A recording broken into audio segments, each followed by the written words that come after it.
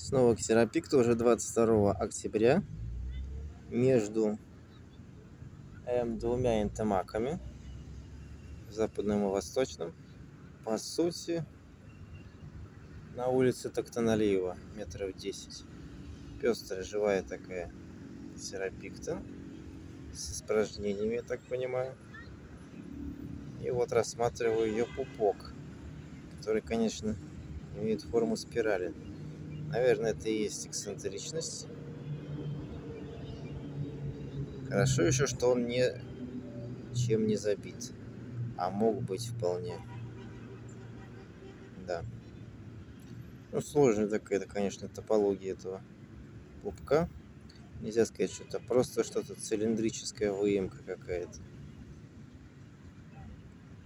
Серапик-то еще вполне себе активный на 22 число. Я даже видел, что они, будь здоров, еще спариваются во всем.